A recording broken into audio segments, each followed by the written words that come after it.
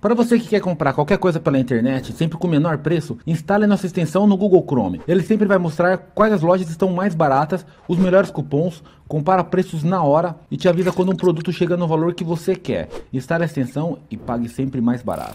Fala galera, vocês estão bonzinhos meus filhos. E hoje um unboxing pedido demais, porque Realme será o novo matador da Xiaomi, esse tipo de coisa. A galera briga muito nos fóruns. Eu já observei muitos aparelhos, já tive aparelhos da Oppo, já acho que foi um dos primeiros canais a fazer review e unboxing de aparelhos da Oppo. Para quem não sabe, Oppo é uma das marcas mais vendidas da China. É a Oppo, Vivo, OnePlus, só pra você ter uma ideia, é uma empresa que tem todas essas marcas. E os caras estão vendendo muito, cara, na Índia, na China. Esses caras estão perigosos e esses caras vão sim dar trabalho pra Xiaomi. Na China já dão, né? E uns 3, 4 anos quando eu falava que a Xiaomi ia bombar, ia estourar, o nego não acreditava. E eu falo mesmo da Realme, cara, da Oppo. São aparelhos excelentes custo-benefício. Mesma tática da Motorola quando voltou no Brasil. O cara vende coisa muito boa e consegue reduzir a margem para vender um produto com uma qualidade boa. E tá chegando aqui na América do Sul. É um excelente aparelho pelo preço, cara. Já vi bastante vídeo sobre eles, bastante gente especializada falando isso. Faço parte de alguns fóruns da China, XDA, enfim. E a galera tá consumindo muito e fazendo muito conteúdo para ele, cara. Então vamos fazer um unboxing, primeiras impressões aqui do Realme 5. Já tá vendendo no Brasil, vou deixar o link aí abaixo para quem estiver interessado, com cupom de desconto também para quem estiver interessado.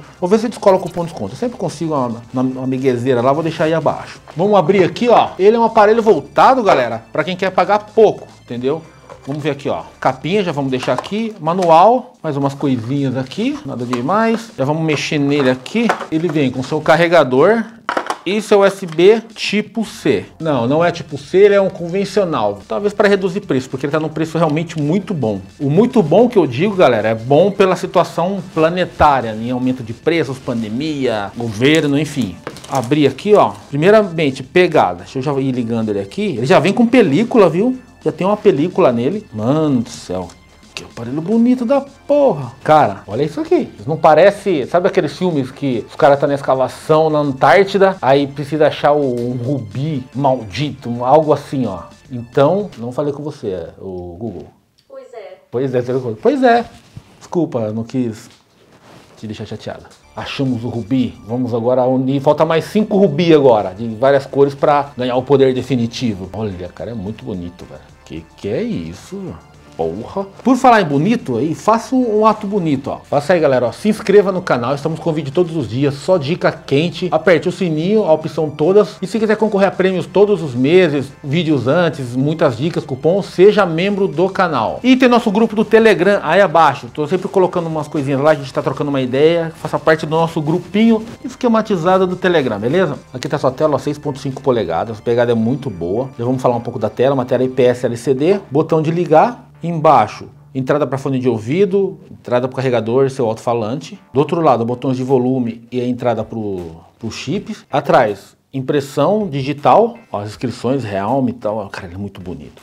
E aqui, suas câmeras. Tem uma câmera de 12 megapixels com abertura 1.8, ela é bem aberta. 8 megapixels ultra angular, 2 megapixels macro e mais um sensor de 2 megapixels para profundidade. Detalhe, pelo preço dele, ele já grava em 4K 30 frames. E na frente, sua tela, sua câmerazinha em gotículas, estamos dando uma mexida aqui nele. Uma coisa também que a galera compartilha muito e fala que é, gostou muito dele, é porque ele, essa versão, ele tem opção de 3 e 4 GB de RAM. Essa é versão mais barata de 3 GB de RAM, 32 de memória interna, mas a galera fala que ele tem um desempenho, a interface também, a Color OS, ajuda muito e ele tem um desempenho muito rápido, muito bom, justamente pelo preço que ele é vendido, enfim, no mundo inteiro. Aqui no Brasil é um pouquinho mais caro, porém, enfim, em todo lugar tá, os preços estão caros, porém ele tá num ótimo valor, aquilo, um ótimo valor. Se a gente for comparar tudo que tá acontecendo, né? Poderia ser mais barato? Poderia. Mas um aparelho de 3 GB de RAM e 32 tá esse preço quase em todo lugar, mas ele já grava em 4K, tem uma interface com mais funções, ele é bem rápido. Sua câmera de selfie é, são 13 megapixels, mas a abertura já é 2.0. Geralmente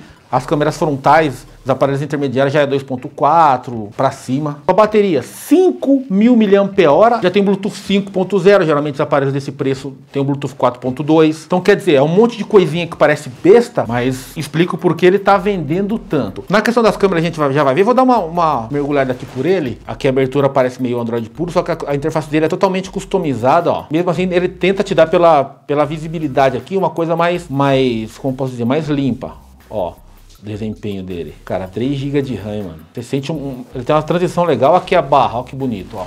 Tá vendo? Meio transparentão. Tem muitas opções, cara. Um aparelho interessantíssimo, hein? Vamos mexer um pouco nas câmeras dele daqui a pouco. Cara, eu gostei muito da pegada. Na parte do processamento, Snapdragon 665. Ele é como se fosse, para vocês identificar, o Motorola G8 Plus. Então, tipo assim, ele tem um processamento, vai rodar tudo, vai reduzir os frames de jogos mais potentes, enfim, toda aquela redução que eu preciso fazer, vai. Ele tem uma interface própria para jogos, então isso já vai ajustar muito. Ele tem 3 GB de RAM, a interface inteira já vai arrancar tudo da RAM para ficar focado no jogo, o que a maioria das interfaces hoje faz. Lá no XDA eu tava vendo, não lembro se foi realmente no XDA, eu tava vendo uns fóruns sobre ele, a galera falando sobre isso, já querendo fazer uns moldes para ele, a galera falando que realmente tá com, tá com desempenho bacana para jogos, porque a galera quer saber de, só de jogar. É bom para jogar? Então é aquilo, tem essas reduções, como todo aparelho desse preço e desse hardware tem, enfim. Mas vamos lá, eu quero ver agora as câmeras dele. Enfim, antes da câmera, vamos ver o desbloqueio. Cadastrei já, ó.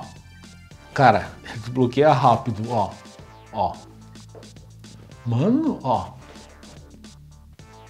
Muito rápido pelo preço dele, hein? Na boa, de todos os aparelhos que eu peguei com o Snapdragon 665, essa faixa de preço, nenhum desbloqueia mais rápido que ele, para começar. Mas estou elogiando muito o aparelho, né? Tem pontos negativos? Todos os aparelhos têm. A gente precisa de uma análise mais profunda. Aqui são as primeiras impressões que eu tô tendo. Tô gostando. Já usei alguns opos. Cara, cara a toa que os caras estão evoluindo, hein? Vamos ver agora a câmera mexendo na interface dele. Ele fica marca de dedo, viu, galera? Olha isso aqui. Muita marca de dedo. Aqui a sua interface, ó vídeo. Então, ó, já grava em 4K. Vamos ver algumas opções aqui. Ó. Algumas opções de filtro já pré-selecionado. Configurações. Botão de volume, escolha o que o botão de volume faz. Som de obturador, localização, nananã, inverter selfie. Isso aqui eu gosto. Vamos aqui. Foto, modo retrato. Ó, o HDRzão.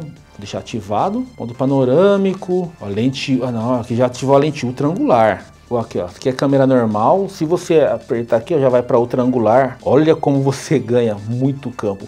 Cara, isso aqui é animal, velho. Câmera ultrangular. Ele tem ultrangular e tem a macro já, um aparelho desse preço, velho. Câmera de zoom. Ele tem a zoom na, na ultrangular, a zoom no normal e a zoom na ultrangular. Porra! Olha, zoom de 5 vezes. Apesar que de 5 vezes eu acho que já é digital. Mas a de 2 não, ó. Ou é híbrido. Olha, cara. Tira uma fotinha. Ó, o HDR dele é bom porque tô contra a luz aqui. Ver se tem uma forma de eu mexer. Tirei, deixa eu ver aqui se... Tem um pré-editor aqui já. Desfocar. Ah, tem um modo de desfoque mais ou menos, você seleciona a área. Geralmente quando você usa o modo foco, o modo retrato, ele perde um pouco de textura, de nitidez. É normal isso, em todos os celulares são isso. Olha cara, ele tem um sharpener um Sharp grande. Ó, desfocou muito bem o fundo. Pelo amor, hein? Pode ver que tá mais claro lá, mais escuro lá fora. Ele conseguiu condicionar bem a luz. Agora vou tirar a câmera frontal. O legal é que a câmera triangular, meu, ela é muito angular. Olha isso, velho. Para fazer stories. Olha, cara é muito angular. Ela é 25 milímetros. Mas, mas quando ela tem de graus, sei lá, acho que ela tem uns 107 graus para mais. Tirar uma foto aqui modo retrato. Vou deixar meu boné que é preto, com um preto aqui, ó, pra, pra errar o corte mesmo, de propósito, pra gente ver se ela consegue tirar a foto. Se ela consegue contornar o boné. Ele não vai conseguir. Puta que o... Ah, ela deu uma, uma errada. Mano, olha a luz, como ela conseguiu meter o HDR na luz e compensar toda a luz no meu rosto. Ó, aqui, ó. Cara, que nitidez do caralho essa porra dessa câmera, olha isso. Aqui que ela se enganou, ó. Ó, tá vendo?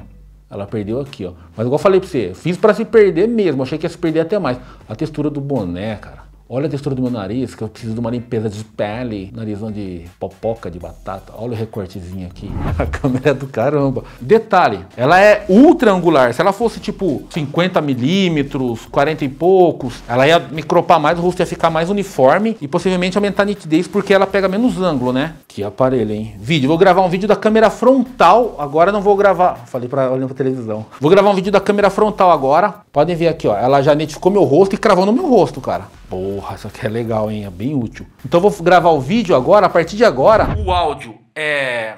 O áudio é do celular. Então, ó, pra eu que tô vendo aqui, eu cravei. Mano. Puta animal. Mas é aquilo, eu sempre falo. Eu olhando aqui pra tela do celular, parece que tá muito bom. Mas vocês aí estão vendo o resultado real aí do meu lado. Eu não tô tendo acesso até... Porque não tá editado o vídeo, né? Pelo menos pra mim. Então vocês têm uma, um acesso, uma visão melhor do resultado final. E vou testar a macro, cara. Ó, vamos ver aqui se ele acessa. Não está acessado, ele deve fazer isso de modo automático. Eu não tenho a câmera de. Ah, ele identificou. Ele identificou agora, ó, lente macro. Eu coloquei, ele identificou que é macro e. Vamos ver se eu consigo focar aqui. Ó, plantas verdes, inteligência artificial. Falando que são plantas verdes. Tô chegando perto, quero que ele entenda que é macro.